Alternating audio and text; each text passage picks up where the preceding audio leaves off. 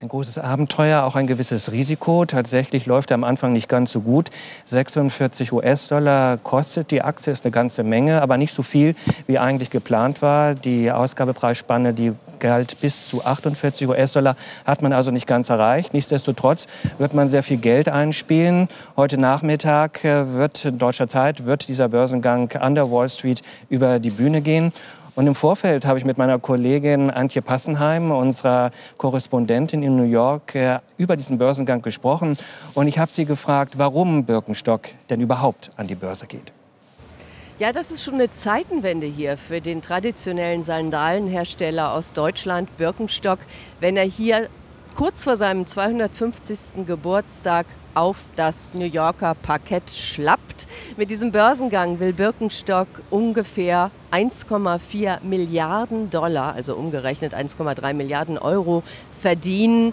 Das Unternehmen soll dann 8 bis 10 Milliarden Dollar wert sein. Das ist doppelt so viel wie vor zwei Jahren, als der milliardenschwere Luxusunternehmer Bernard Arnault, der Chef des Unternehmens LVMH, eingestiegen ist bei Birkenstock. Der gibt auch maßgeblich den Ton an bei der Hauptgesellschaft L. Catterton. Und der hat zusammen mit dem deutschen Birkenstock-Chef Oliver Reichert diesen Börsengang maßgeblich vorangetrieben. Bernard Arnault will Birkenstock in die Welt des Luxus einführen.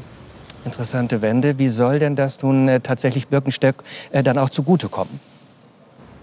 Birkenstock selbst könnten gut 520 Millionen Dollar zugutekommen. Das Unternehmen will das Geld nutzen für den Schuldenabbau, aber auch um sein Geschäft in Asien auszuweiten. Denn da sind die Birkenstocks bislang so gut wie gar nicht zu haben. Und das soll sich ändern. Das soll ungefähr so werden wie hier in den USA, wo die Latschen bereits der Renner sind. Wir haben schon ein bisschen angedeutet, äh, ist da ein großer Hype um Birkenstock. Ist das ein Börsengang in den USA wie der andere? Nein, ungewöhnlich ist das jetzt hier nicht alles, aber das Medieninteresse ist ungewöhnlich groß, weil nämlich Birkenstock so einen Hype hier in den USA erzeugt.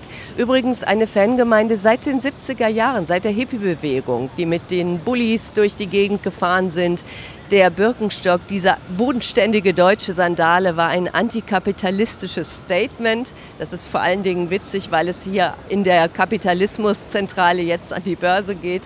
Dann in den 80er Jahren die Frauenbewegung. Dann haben Ikonen wie Steve Jobs den Birkenstock berühmt gemacht. Er liebte das Modell Arizona. Das ist hier übrigens ausgelatscht vor einem Jahr für 200.000 Dollar unter den Hammer gekommen. Models wie Kate Moss, Heidi Klum, haben den Birkenstock-Schuh, die Sandale dann zu Glanz gebracht weiter. Und zum Schluss natürlich Barbie, die in ihrem Blockbuster die High Heels austauscht gegen die Sandale, um ins einfache Leben einzutauchen. Und das hat Birkenstock natürlich genutzt, diesen Hype jetzt, um jetzt hier an, in diesem Moment an die Börse zu gehen. Ja, dieser Film, der kommt im Grunde zur rechten Zeit. Äh, alle fragen sich natürlich hier, warum geht ein Traditionsunternehmen aus Deutschland nun ausgerechnet in New York an die Börse? Genau, unter dem Kürzel Berks wird Birkenstock hier gelistet, also Berks Goes Manhattan. Und das ist für die deutsche Börse natürlich ein schwerer Schlag, nachdem sie schon das US-deutsche DAX-Schwergewicht Linde verloren haben an die USA, nachdem BioNTech, der Pharmakonzern, hier in New York an die Tech-Börse Nasdaq gegangen ist nachdem vergangene Woche der Rüstungskonzern Renk zurückgezogen hat vom Börsengang in Frankfurt. Und jetzt geht Birkenstock hier nach New York aus einem guten Grund, weil das hier einfach der dickste Markt ist. Der kapitalstärkste Markt, der umsatzstärkste Markt, an dem sich das meiste Geld verdienen lässt. Und außerdem ist dieser US-Markt für Birkenstock auch für die Sandalen der stärkste Markt der Welt. Hier macht Birkenstock den meisten Umsatz. Das hat mit dem Börsengang jetzt nichts zu tun, aber vor dem Hintergrund ist dieser Hype um die Birkenstock-Sandale in den USA natürlich auch ganz wichtig. Nun ist ja die Aktienkultur in den USA viel ausgeprägter als bei uns. Äh, welche Rolle spielen denn Aktien im täglichen Leben der Amerikaner und welche Rolle spielt in diesem Zusammenhang auch möglicherweise Birkenstock? Das ist auf jeden Fall Gesprächsthema und zwar quer durch alle Altersgruppen, ob das Studenten sind, ob das Berufstätige sind, ob das Rentner sind.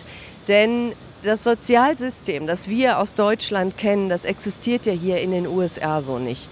Und von daher legen viele Leute in Aktien an, ob sie davon ihre Studienschulden bezahlen wollen, ob sie für ihre Altersvorsorge vorbauen wollen.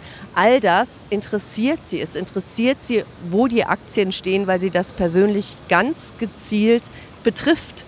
Außerdem hat die Anlegerlust ja so ein bisschen zugenommen, nachdem die Angst weggegangen ist, dass die Fed weiter mit den Zinssteigerungen macht. Diese Angst ist im Moment so ein bisschen gedämpft und daher auch die Anlegerlust wieder gestiegen. Nun ist es ja so, dass auch der Staat in den USA die Aktienkultur fördert. Äh, inwiefern? Ja, das tut der amerikanische Staat zum Beispiel, indem er seinen Bürgerinnen und Bürgern dabei hilft, eine aktienbasierte Altersvorsorge zu machen.